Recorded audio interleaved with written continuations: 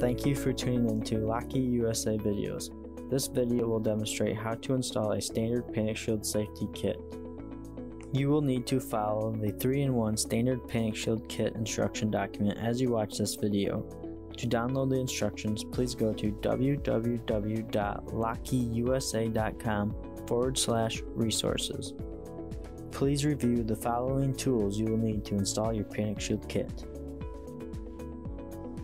Determine the hole pattern that matches the panic bar you will be installing. Each panic shield is pre-drilled for three different types of panic bars. Confirm the hole pattern for your panic bar by using the diagrams in the instruction document. Measure the width of the gate.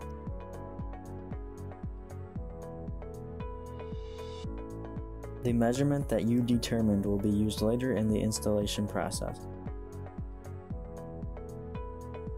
Install the keyed cylinder and the GB5 gate box.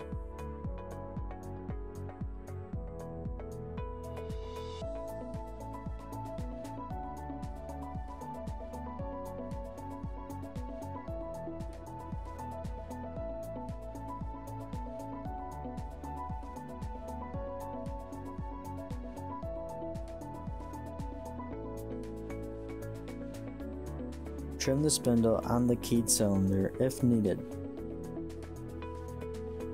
Depending on the panic bar that you are using, you may need to remove the head cover.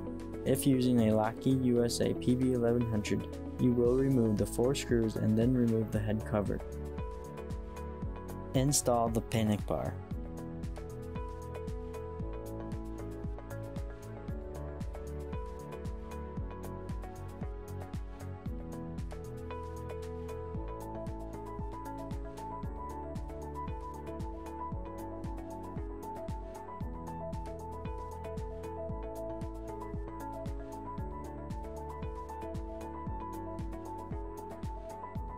Install the panic bar head cover.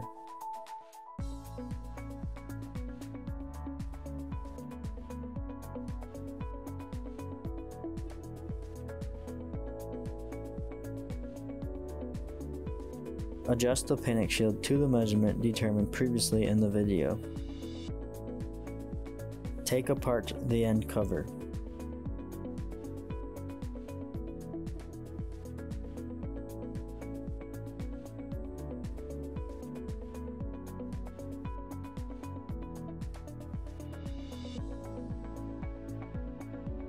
Drill the holes with a quarter inch drill bit.